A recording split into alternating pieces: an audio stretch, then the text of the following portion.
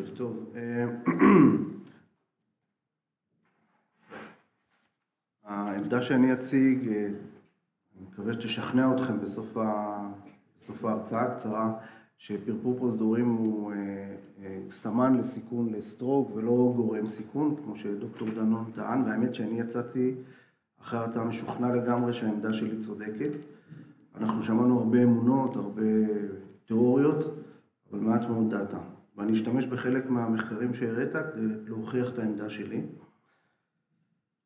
אה, מה שאנחנו מדברים אה, בפרפור פרוזדורים ו stroke, אנחנו מדברים על האופציה האחת, שמדובר במחלה מקומית, שפרפור פרוזדורים אכן הוא-הוא שגורם להיווצרות קרישי הדם ול stroke. כלומר, זו מחלה מקומית, צריך לטפל באופן מקומי או בפרפור עצמו.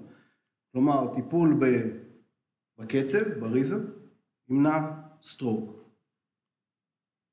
נראה שיש קשר זמנים טוב בין האירועים של הפרפור וה stroke, כלומר כל פעם שהיה stroke, אנחנו נראה שלפני כן היה אירוע של פרפור.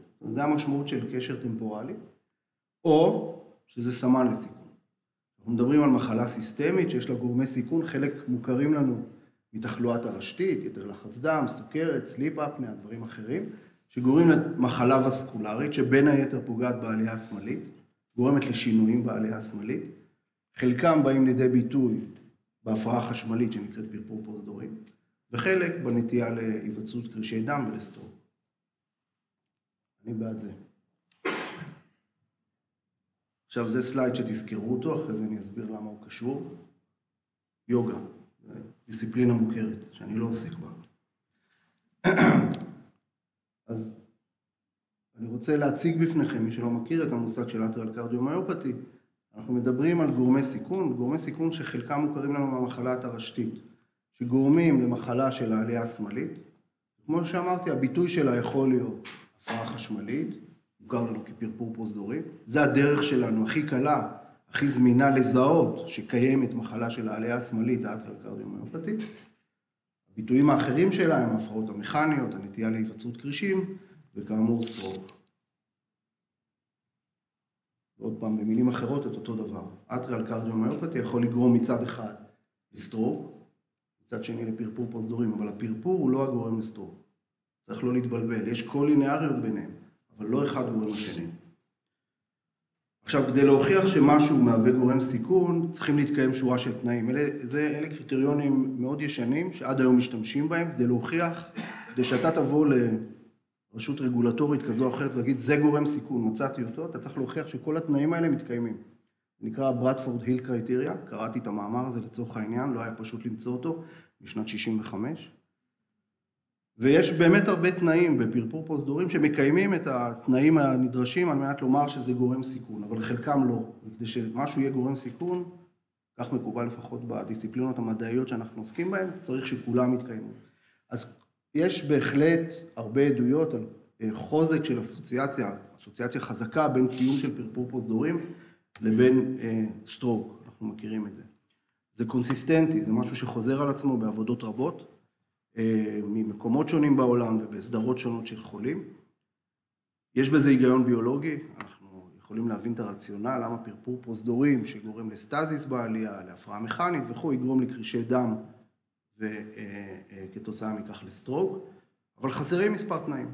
התנאי הראשון שחשוב, האלמנט האקספרימנטלי, הסרת גורם הסיכון, כלומר טיפול בפרפור per se, אמור למנוע stroke. בניגוד למה שאסף הראה לכם, אני אראה לכם שהעדויות הן לא כל כך חזקות בכיוון הזה. צריך להיות קשר של זמנים, temporal sequence. כלומר שהפרפור יקרה לפני ה stroke, שהקשר יהיה הגיוני. כלומר, פרפור שקרה שנתיים לפני ה stroke, זה איננו נחשב קשר זמנים הגיוני. אם פרפור פרוזדורים, per se, הפרפור, האירוע הזה שבו הפרוזדור, כמו שאני מסביר עד היום לחולים, כשהם שואלים אותי למה לתת, אני אומר להם, הפרוזדור מפרפר, נוצרים שם קרישי דם, ואז זה גורם ל stroke, אבל זה שקר, זה דרך לפשט את האמת. פרפור שקרה לפני שנתיים לא מסביר stroke שקורה שנתיים לאחר מכן. והדבר האחרון זה צריך להיות ממצא ספציפי. כמו שאתם יודעים, כשאנחנו לוקחים חולה עם פרפור שקורה אצלו אירוע של stroke, אנחנו מוצאים שבדרך כלל יש לו גם גורמי סיכון נוספים. יש לו סכרת, יש לו מחלה טרשתית, יש לו יותר לחץ דם, יש לו sleep אה, apnea, אינני יודע. בשביל זה יש לנו סולמות סיכון. אנחנו לא לוקחים כל חולה עם פרפור ונותנים לו אנטי-קואגולציה. אנחנו אומרים, צריכים לקיים עוד תנאים. הפרפור per se הוא לא מספיק סגולי על מנת להחליט על החלטות טיפוליות. ולכן זה מאוד חשוב האמירה הזו, שאני לא המצאתי אותה. אנחנו מאמינים בהרבה דברים, ואלוהים זה חשוב, אבל כל השאר צריכים להביא דאטה. בנושא של פרפור אין כל כך. המחקר הכי חשוב שאתם בוודאי מכירים זה ה-AFFIRM trial. ב-AFFIRM נבדקה אסטרטגיה של טיפול אנטי-אריתמי מול rate control. למנוע hard endpoints כמו תמותה ו-stroke, וב-AFFIRM trial שיעורי ה-stroke, לא רק שלא היו שונים, הם היו מעט גבוהים יותר בקבוצת ה-rhythm control. למעשה, כשמסתכלים על שורה ארוכה של... אופס. תיארתי את ה-AFFIRM. ב-slide הזה אתם רואים שורה של מחקרים שבדקו אסטרטגיה של טיפול אנטי-אריתמי מול rate control כדרך למניעת stroke. כמו שאתם רואים, שיעורי ה-stroke אינם שונים בחולים שמטופלים טיפול תרופתי ל-rhythm control לעומת rate control. אז יבואו אנשים ואמרו בצדק שטיפול תרופתי הוא איננו דרך מאוד יעילה ל-rhythm control, ואבלציה היא דרך יעילה יותר. אז בואו נראה מה יש לנו מאבלציה. אסף הראה את המחקר הזה, בצורה מניפולטיבית משהו. זה מחקר תצפיתי שבדק חולים שטופלו באבלציה, לעומת חולים שלא טופלו באבלציה, והאוכלוסייה הכללית. ומה שראו, שחולים שקיבלו טיפול, חולים עם פרפור שטופלו באבלציה, שיעורי ה-stroke אצלהם היו נמוכים הרבה יותר מחולים עם פרפור פרוזדורים שלא טופלו באבלציה.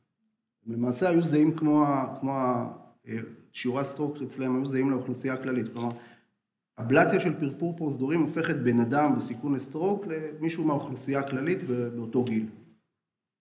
זה הממצאים של המחקר הזה, זה מחקר תצפיתי, כן? ברור שהחולים נבחרו לטיפול באבלציה לא באופן רנדומלי. מחקר דומה מאנגליה הראה ממצאים דומים. חולים עם פרפור פרוזדורים שטופלו באבלציה, לעומת חולים עם פרפור פרוזדורים, סליחה, שלא טופלו באבלציה, אתם רואים את שיעורי ה-stroke כאן, לעומת חולים עם פרפור שטופלו באבלציה, שיעורי stroke נמוכים הרבה יותר, שוב, כמו האוכלוסייה הכללית. ויש עוד מחקרים שהראו את זה, אבל מה שהמחקרים האלה לא כל כך הראו זה איך חולים נבחרים לטיפול באבלציה. זה מחקר שוודי גדול שפורסם לפני כשנתיים, ובחן איזה חולים נבחרים לטיפול באבלציה. אז אתם רואים שמתוך 360 אלף חולים, כמעט 362 אלף חולים עם פרפור פרוזדורים בשוודיה, מדינה די מסודרת, מערבית, כאחד אחוז מהחולים, זה בתקופה די ריסנטית, 2006 עד 2012, זה לא פרה-היסטורי, רק 1% מהחולים הגיעו לאבלציה, לעומת קרוב ל-99% מהחולים שלא הגיעו לאבלציה. זה איננו טיפול מסיבי בחולים רבים. הם אמנם מצאו שחולים שעברו טיפול באבלציה, שיעורי הסטרוק אצלהם היו נמוכים יותר לעומת חולים שלא עברו אבלציה. חשוב לראות איזה חולים נבחרו לטיפול הזה. אז אני אראה לכם רק מספר דברים. הגיל הממוצע של החולים שנבחרו לטיפול באבלציה היה 58 לעומת 75 בקבוצת החולים הכללית, או שלא טופלה באבלציה. ה-CHADS-VASc הממוצע שלהם היה 1.5 לעומת 3.6 בחולים שלא נבחרו לאבלציה. שיעור החולים עם CHADS-VASc מעל 2 היה 42 אחוז, לעומת 85 אחוז בחולים שלא טופלו באבלציה. כלומר, זו איננה בחירה רנדומלית של חולים. נבחרו לאבלציה חולים בסיכון נמוך במיוחד, שאינם מייצגים את האוכלוסייה הכללית של חולים עם פרפור פרוזדורים. ברור שאחרי propensity score matching זה נראה הרבה יותר טוב. ה-propensity score אבל הוא נעשה רק לדברים שאנחנו יודעים למדוד. כל שאר הדברים שאנחנו לא מודדים, כמו כשרופא הולך למחלקה, מסתכל על החולה ואומר, הוא לא מתאים לאבלציה, הוא לא יודע תמיד לרשום בגלל הלחץ דם, הסכרת, הגיל, או משילוב של גורמים, כל אלה לא נכללים ב-propensity score matching. לא כל העבודות התצפיתיות הראו שאבלציה מורידה את שיעורי ה-stroke. זו עבודה מקנדה, שבה לא נמצא ירידה בשיעורי, זו עבודה שפורסמה ממש לפני חודש, שלא נמצא ירידה בשיעורי ה-stroke בחולים שעברו אבלציה לעומת חולים שלא עברו אבלציה. ה-editorialist למחקר השוודי שהראיתי לכם קודם, כותב באמת ש-propensity matching יכול לתקן רק לדברים שאנחנו יודעים לספור, יודעים למדוד. כל שאר הדברים, אנחנו לא יודעים. ולכן הדרך היחידה לראות שאבלציה באמת משפרת או מקטינה את הסיכון ל-stroke זה על ידי מחקרים רנדומליים. ולאחרונה יצאו מחקרים כאלה. ה-CABANA היה מחקר שהוצג לפני שנה ב-Heart Rhythm Society, זה מחקר שעשה רנדומיזציה של חולים לטיפול באבלציה לעומת טיפול תרופתי. מרבית החולים שהיו על הטיפול התרופתי, כ-80 אחוז, קיבלו טיפול אנטי-אריתמי. היה crossover גדול בין, שני ה... בין שתי הזרועות, אני לא אכנס לזה עכשיו. ובאמת ראו שחולים שטופלו באבלציה, הסיכוי שיישארו בסינוס לעומת טיפול תרופתי היה גדול בצורה משמעותית לאחר ארבע שנים. ה-relative risk להיות בפרפור היה חצי בקבוצת האבלציה לעומת הטיפול התרופתי. למרות זאת, ב-intention to treat analysis לא ראו הבדל ב-end points בין שתי הקבוצות. זה כולל תמותה, stroke, דימומים ו-cardiac arrest. כשמסתכלים באופן ספציפי על stroke, לא היו הבדלים בין שתי קבוצות. היו עוד אנליזות ותת אנליזות שנערכו, למשל האנליזה הזו היא נקראת treatment received. treatment received זה אומר שבוחנים לא רק מה החולה עבר רנדומיזציה, אלא מה הוא קיבל באמת. אז לקחו חולים למשל, שהיו בקבוצת האבלציה ולא עברו אבלציה, מסיבות כאלה או אחרות הם החליטו שהם לא רוצים לעבור אבלציה, או לקחו חולים שעברו רנדומיזציה לקבוצת הטיפול התרופתי ועברו אבלציה במהלך המעקב ורשמו אותם בקבוצת האבלציה. עכשיו זו דרך קצת מניפולטיבית להציג את הדאטה, מכיוון שאנחנו לא יודעים למה חולים עברו מהזרוע של הטיפול התרופתי לקבוצת האבלציה. זה לא יהיה ניחוש פרוע לחשוב שהחולים שהחליטו במהלך המעקב להעביר אותם לקבוצת האבלציה, מסיבות כאלה ואחרות, נכשלו טיפול תרופתי או whatever, הם לא היו החולים הכי קשים או הכי חולים. ייתכן מאוד שהם היו הכי צעירים, הכי בריאים, עם הסיכון הכי נמוך לפריימרי אנדפוינט. כך או כך, למרות שהראו לנו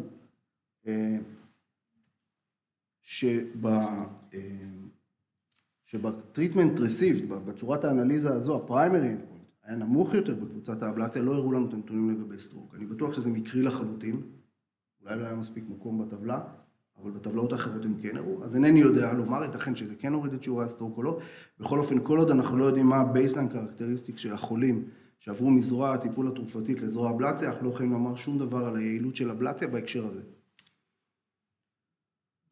מחקר אחר שהוא רלוונטי זה ה-CASTLE-AF. ה-CASTLE-AF פורסם לפני כשנה, זה מחקר שלקח חולים עם ejection fraction נמוך, מושתלי ICD ו-CRTD, ועשה להם עם פרפור פרוזדורים, ועברו רנדומיזציה לטיפול תרופתי, רובם היו rate control, או אבלציה של פרפור פרוזדורים.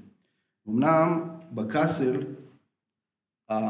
ה primary endpoint שכלל תמותה, אשפוזים מאי ספיקת לב ו stroke, שיעור ה primary endpoint היה נמוך יותר בקבוצת האבלציה, לגבי, ספציפית לגבי ischemic stroke, לא היו הבדלים בין שתי הקבוצות.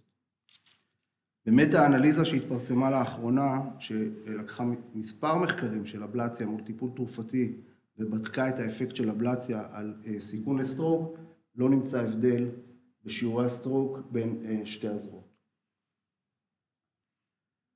לגבי הקשר זמנים, אני אראה לכם מספר סליידים ממחקר ה ASSERT. ה ASSERT היה מחקר של חולים מושתלי קוצבים ו ICDs, ובדקו אירועי פרפור פרוזדורים ואת הסיכון ל stroke. אירוע של פרפור הוגדר כאירוע מעל שש דקות, ומצאו שבחולים שהיו להם אירועים כאלה היה סיכון גבוה יותר ל stroke במהלך המעקב. מה שאתם רואים כאן בעקומות, בעמודות האלו, בעקומות האלו, זה משך הזמן שחולה היה במעקב. כאן אתם רואים את, בקו האנכי, זה היום שבו קרה ה stroke. והמשבצות הכהות יותר, זה היה הזמן שבו היו אירועי הפרפור. ומה שראו ב ASSERT, שלא היה שום קשר של זמנים בין אירועי הפרפור וה stroke, הייתה דיסוציאציה טוטאלית, מה שמאוד מאוד מעמיד בספק את הקשר בין פרפור כמחלה, שהיא הגורם ל stroke. למשל, כאן אתם רואים שהיו לא מעט חולים שאירועי הפרפור קרו אחרי ה stroke. בוודאי אי אפשר להאשים את הפרפור כגורם ל stroke. למעשה, רק בשמונה אחוז מהחולים היו אירועים של פרפור בחודש לפני האירוע של ה stroke. הזמן הממוצע או החציוני של אירוע הפרפור לפני ה stroke היה קרוב לשנה. והיו לא מעט חולים, יותר חולים שהיה להם אירועים של פרפור אחרי ה stroke, מאשר חולים שהיה להם אירועים של פרפור בשלושים יום לפני ה stroke. זה מאוד מחזק את הטענה שלי שפרפור פרוזדורים הוא מרקר ולא גורם סיכון. היו מחקרים נוספים שהראו דברים דומים. הדבר האחרון שאני אדבר עליו זה הגרדיאנט הביולוגי. גרדיאנט ביולוגי זה אומר ככל שיש יותר את גורם הסיכון, אתה מצפה שיהיה יותר stroke. וכאן על זה יש עבודות קונטרוברסליות, יש מחקרים שמראים ש permanent AF כרוך בסיכון גבוה יותר ל stroke לעומת הסוגים האחרים של פרפור, ויש עבודות שמראות בדיוק ההפך, ש permanent AF כרוך בסיכון נמוך יותר, ו paroxysmal AF או new onset AF דווקא כרוך בסיכונים גבוהים יותר ל stroke. כלומר, הקשר בין משך הזמן של הפרפור לבין ה stroke הוא איננו חד משמעי. ויש מחקרים שונים שבדקו את זה והתוצאות הן די וריאביליות. אמ, גם כשבוחנים האם יש קשר בין משך האפיזודות של הפרפור לבין סטרוק, לא מוצאים קשר מובהק. אתם רואים באסרט, אירועים של מעל 24 שעות היו קשורים בסיכון מוגבר לסטרוק, ואירועים שפחות מזה לא היו קשורים, ללא הבדל אם החולה היה 5 דקות בפרפור, או 6 שעות עד 24 שעות בפרפור. ובמחקר אחר שנקרא SOS, לא נמצא קשר בין משך הזמן שהחולה היה בפרפור לבין הסיכון שלו ללקות ב stroke.